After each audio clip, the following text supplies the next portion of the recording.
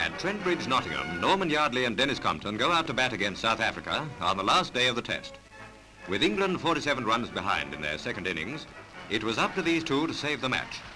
Compton sneaks a single to get his first test century of the season. The 29-year-old Middlesex batsman, Arsenal and England footballer, is the first cricketer to get a thousand runs this year.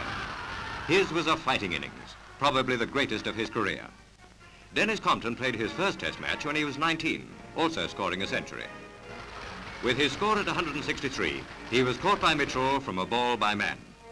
His record stand of 237 with his skipper, Norman Yardley, saved England from defeat. The 32-year-old Yorkshireman played a real captain's game.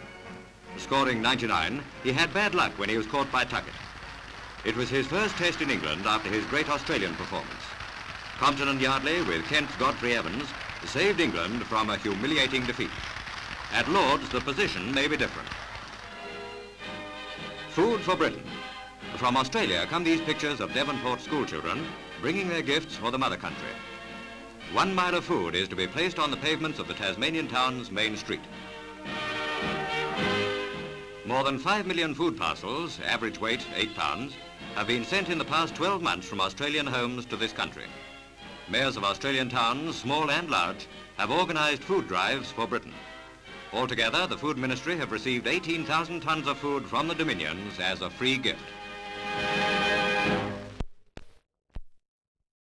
The calm quiet of Lancashire's Coniston Water disappeared when Sir Malcolm Campbell, here with daughter Jean, gave Bluebird II its first pre-record tryout.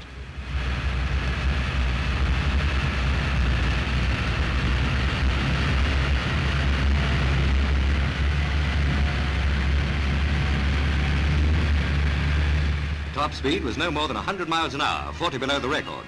The boat's lateral stability is all wrong, Sir Malcolm says, so Bluebird goes back to Porchester for more trials.